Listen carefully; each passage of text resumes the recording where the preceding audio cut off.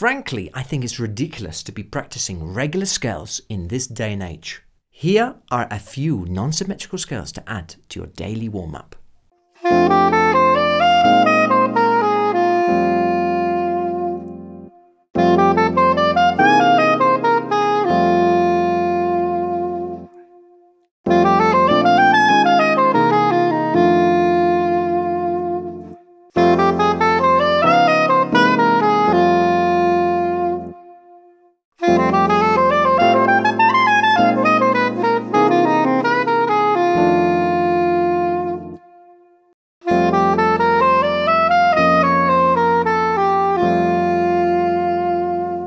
Follow me for more quick musical tips.